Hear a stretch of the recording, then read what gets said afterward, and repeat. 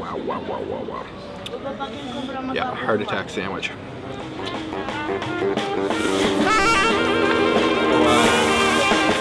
Proszę. Beautiful. Big.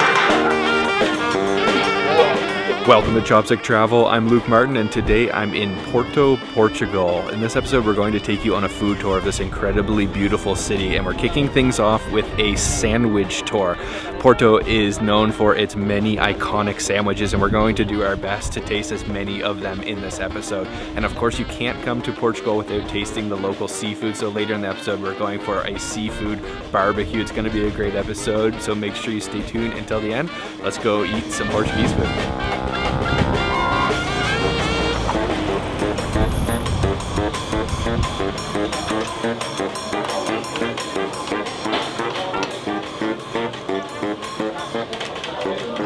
É muito não. Oba.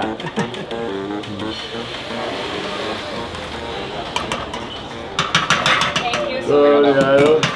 For our first sandwich on our sandwich tour today, we've come to a place called Casa Expresso. They're serving a not so popular, not as popular as the other sandwiches we're going to try, uh, type of sandwich here. It's called Sandes Pocho, which means a firecracker sandwich. It comes from the northern province of Minho here in Portugal, and uh, they braise it or stew it overnight with uh, vino verde, which is green wine, which is also from the north. And this is a really local spot, and I've got it right here. It's basically just a massive chunk of boneless pork in this beautiful roll. And just look at the generous pork in there. He added some extra sauce as well, and this place is just fast and furious. He is working. There's only one guy here, and he's serving everybody. Let me try out this uh, Pocho. It's kind of hard to say. Look at the size of the pork on there.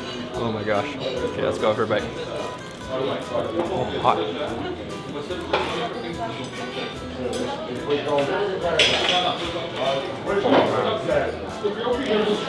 So tender. Oh my gosh. I could taste the bay leaf instantly. It's just ridiculously juicy, tender pork. That roll, saturated with all that sauce. Oh my gosh, it's good. It's smoking hot, right out of the pot. Oh. That is a seriously good sandwich. Chase it with a Super Bock. That's how you gotta start your day here in Portugal. Standing at the bar side, eating a meaty sandwich with beer. No complaints.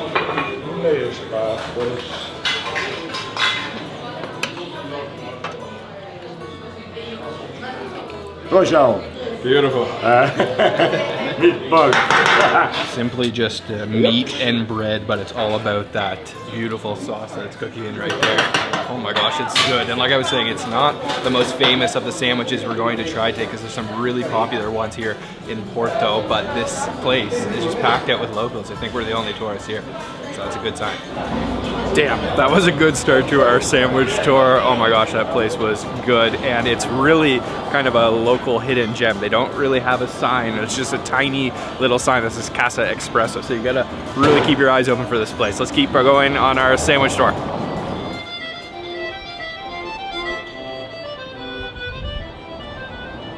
The thing about Porto that is different than other places I've been in Europe is that literally the entire city is beautiful. Like every corner you take, you see another beautiful church or buildings or tiles or fountains. It is an absolutely gorgeous city, probably the most beautiful one I've ever been to in Europe in terms of a city, because it is quite a large city. There's beautiful small towns, but as far as cities go, Porto's got my heart.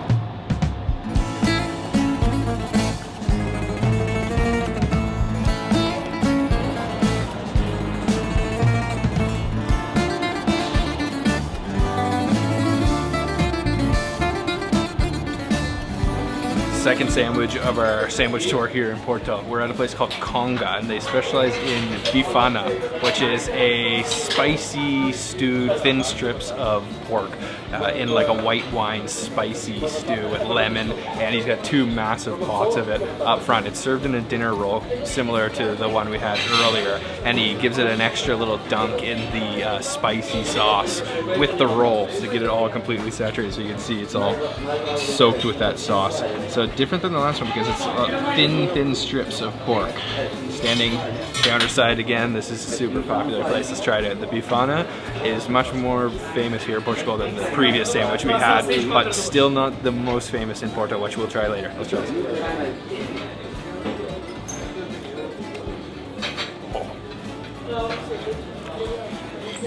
Really good. Let's get some heat. That's definitely a little spicy. The thin strips just melt in your mouth though. Pieces of fat in there, and then the roll is just soaked up that sauce. It's spicy. I like it. They're just turning out the bifana. Look at these.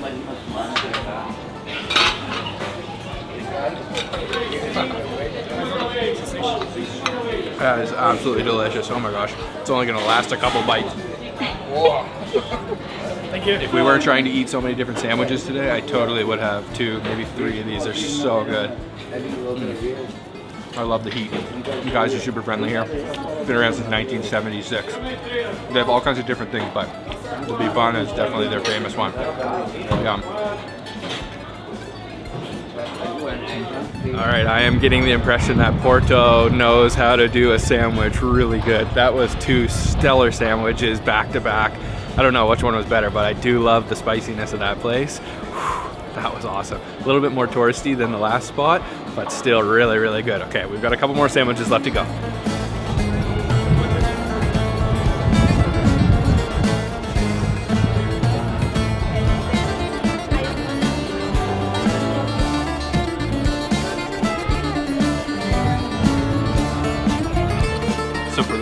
Sandwich of our sandwich tour here in Porto, we are having the most iconic of all sandwiches to have in Porto. Probably the most iconic food you must eat in Porto if you ever visit. We've come to a place called Cafe Santiago, which is famous for their Francesinha sandwich. So the story of the sandwich goes that a Portuguese man living in France was uh, inspired by the French croque monsieur and some other uh, French hot sandwiches. And then when he came back to Portugal or to Porto, he invented a sandwich called the Francesinha, which means the little French girl.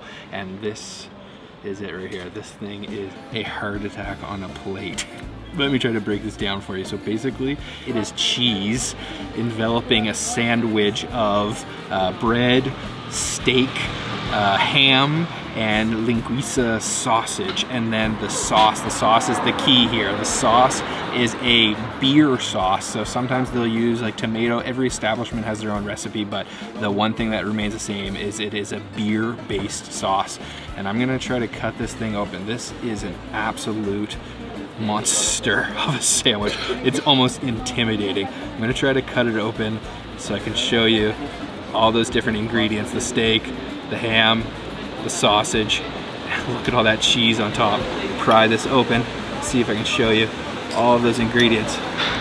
Yes, there you go. So you can see, we've got ham, we've got steak, we got sausage on the bottom, two pieces of bread, tons and tons of sauce, and then cheese all over it. And guess what? He even gave us a pitcher of uh, more sauce. Like it really needs it, but you know, why not? Why not? We're already here. This thing, like I said, is the iconic dish, the most famous dish of Porto that you must try. It's gonna be my first time trying it. It's honestly intimidating. So many ingredients. Let's try it. I'm gonna give it a big bite. Try to get everything all in one. Look at this. Look at that.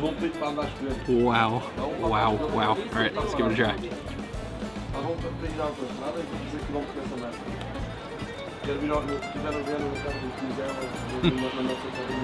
Mm-hmm. Oh my god. That sauce is absolutely killer. It's a little tangy. You can taste like a little tomato in there, I'd say. I can't say you can taste the beer, but it's like a thick gravy almost. And you get so much cheese, so much everything, but you can feel the different layers though. You can you can actually taste everything individually, even though it's all smothered in that sauce. Man, I could see myself eating this at like 3 a.m. after a long night of drinking. It's just falling apart, destroying it. Look at, there's a whole steak in there. That's crazy. This thing is a monstrosity of a sandwich, but you gotta try it here in Porto. That's good. It is good. I wish I was more hungry. mm.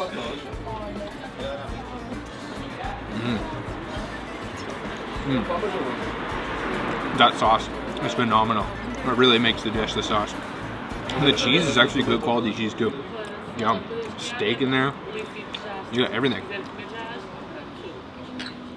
Holy smokes, look at that. Wow, wow, wow, wow, wow. Yeah, heart attack sandwich. All right, my turn to try this. Mm. Interesting taste. I mean, if you are a cheese or meat lover, this dish is a perfect ta- uh, perfect dish for you. Could you eat a whole one by yourself? I don't think so, but if I'm so hungry in the morning, maybe I can. But we just came from like two sandwich shops, so it's heavy. Actually, really good though. Man, that is the mother of all sandwiches. So heavy, but really, really tasty. You have to try it in Porto, the Francesinha, the iconic dish of Porto. That wraps up our little sandwich tour this morning, but we're not done eating. We are going to do a bit of sightseeing though to uh, digest, get a little hungry before we go for some seafood this evening.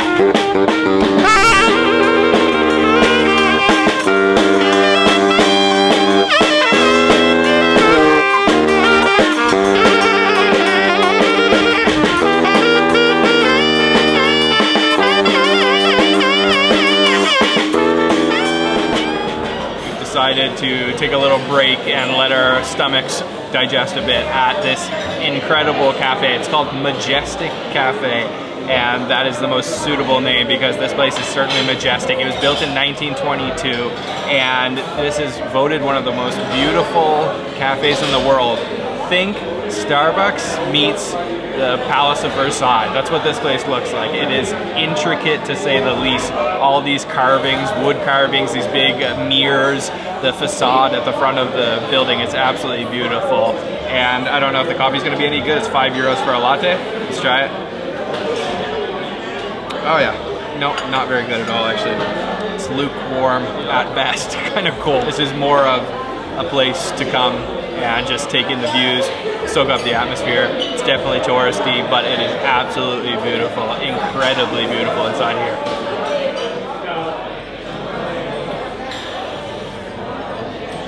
Oh man, that's not a good latte at all. Not gonna lie, this latte does taste just like water pretty much, but still 10 out of 10. Totally recommend. So beautiful in here. What do you think? Maybe the most beautiful cafe I've been in. Like it looks, it looks like we in the palace.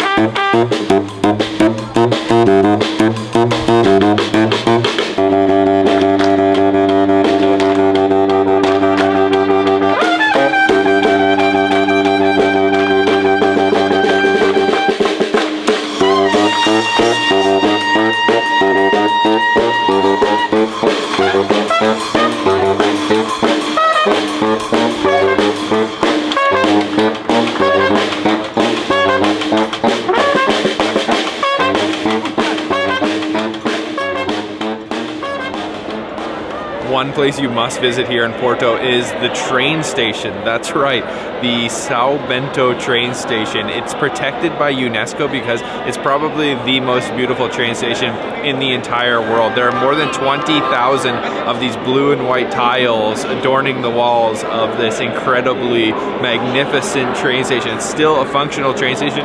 You can hear the announcements for the train departures happening right now and they depict all these scenes of ancient Portugal. It's just an incredibly beautiful place.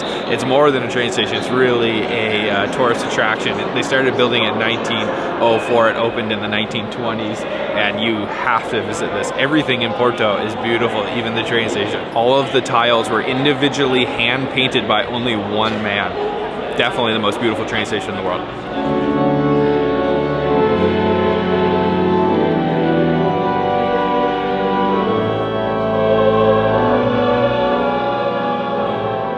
So that was the Porto Cathedral, the main cathedral here in Porto, and another major uh, sightseeing spot in the city. And the inside is just as beautiful as the outside. It's Sunday, so they're having Sunday Mass.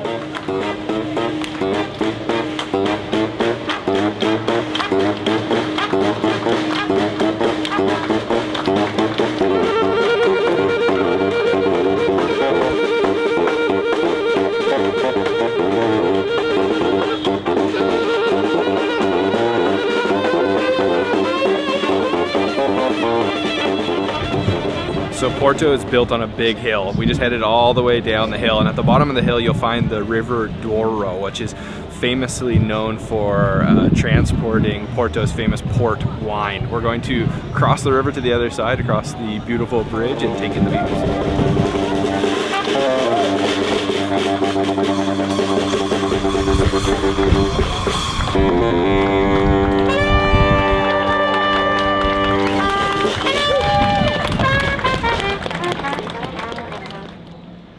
So from the other side of the bridge, we took just a 10 minute taxi to a small town or a little village that's called Afurada. It's a fishing village and we've come here for seafood. You can't leave Portugal without tasting the local fresh seafood and I heard that Afurada has some of the best seafood in all of Porto. So let's go order some up.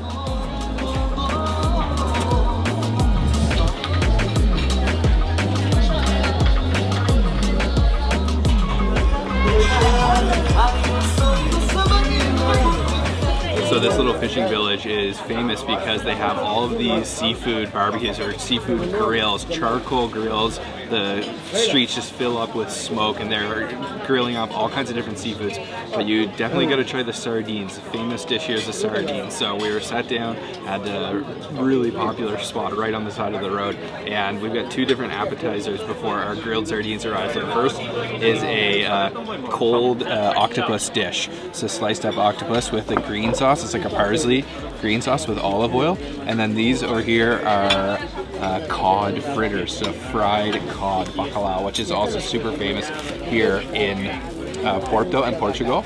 Let me try one of these guys out first. Mm. Mm, a big chunk of cod in there, really big. Nice crunch to it. And chase it with the local Vino Verde, which is a green wine. It's like a sparkling wine. Oh, yum. Okay, let's try this octopus too. Just smothered in parsley, olive oil, some salt. Let's try that. Mm. There's a beautiful texture to it. And the smell of the smoke is making my mouth water. I can't wait to try these sardines. Oh, that octopus is awesome. The sauce on it. Yum. We have our beautiful grilled sardines and they're served with potatoes. The, the waiter was just telling me how to uh, do it properly here in Portugal. So you take the, the potato and then kind of smash it down, kind of mash it, and there's a sauce that's provided. It's like a parsley vinaigrette with uh, garlic right here. A little bit of this on top. Oh my gosh, that looks amazing. And then let me grab one of these guys. All right. And then try to get some of the meat, and then you eat it together with the potatoes and that green sauce. Green sauce, green wine, and then green here. Let's try that. Oh, that looks amazing.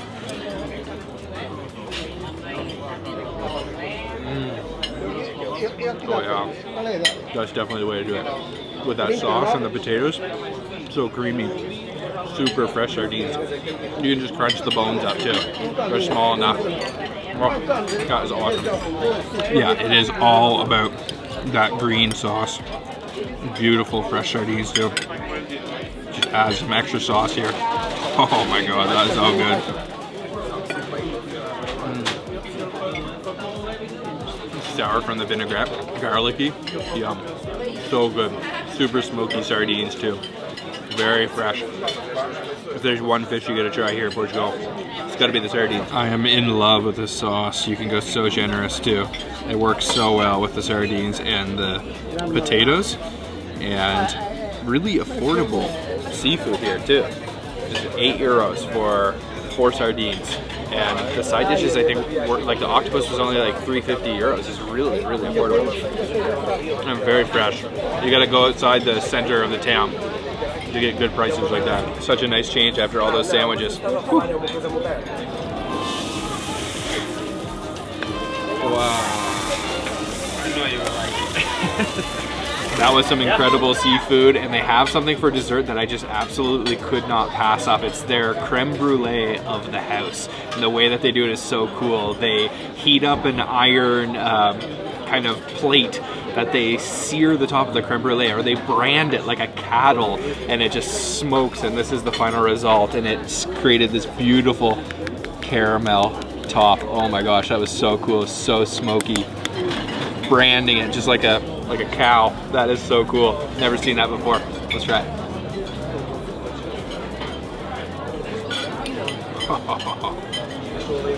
wow. We might need to get two of these.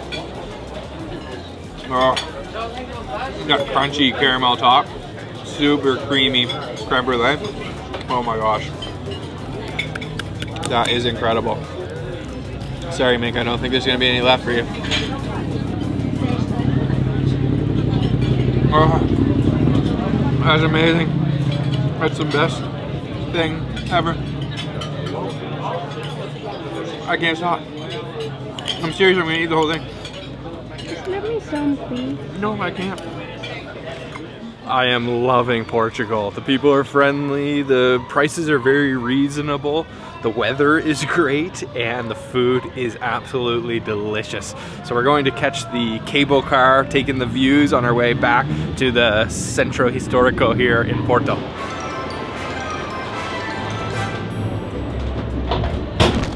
Ready? Let's go.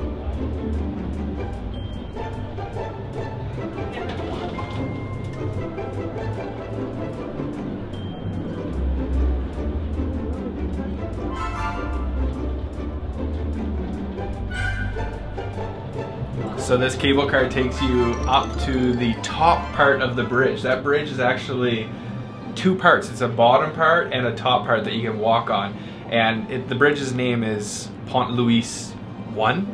It was actually made, designed by Gustave Eiffel, the guy who made the design for the Eiffel Tower, of course. I guess you can kind of tell because the uh, ironwork or whatever it is, I think iron, sort of looks similar to the Eiffel Tower.